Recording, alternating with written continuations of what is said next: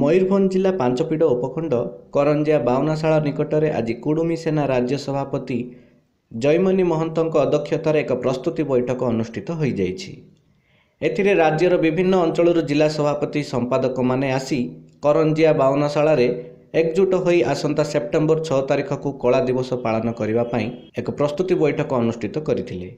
କୁଡ଼ୁମି ଜାତିକୁ ଉଣେଇଶହ ଛପନ ମସିହା ସେପ୍ଟେମ୍ବର ଛଅ ତାରିଖରେ କୌଣସି କାରଣ ନ ଦର୍ଶାଇ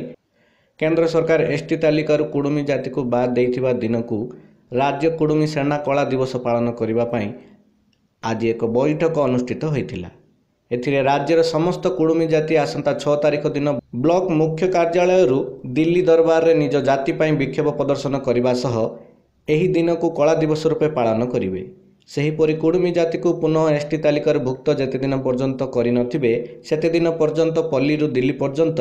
ଏହି ଆନ୍ଦୋଳନ ଜାରି ରହିବ ବୋଲି ରାଜ୍ୟ ସଭାପତି ଜୟମିନ ମହାନ୍ତ ଆହ୍ୱାନ ଦେଇଥିଲେ ମୟୂରଭଞ୍ଜ ଜିଲ୍ଲା କରଞ୍ଜିଆରୁ ଦୀପକ ମହନ୍ତଙ୍କ ରିପୋର୍ଟ ଉତ୍କଳ ଖବର